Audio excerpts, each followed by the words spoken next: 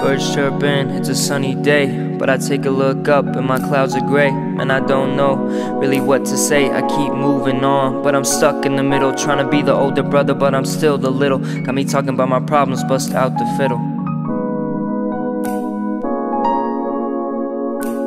Seem like nowadays we try to hurt the ones that love us most. Tell me, how could this be? We're supposed to be close. Ask us for a bit of time, but we're so busy, gotta ghost. Run into the things that we think we love the most. God, tell me when will I finally realize I can't find change in these words? Only a certain amount of time that you can take. While your love is on the line, renew us steadfast and let's appreciate this time.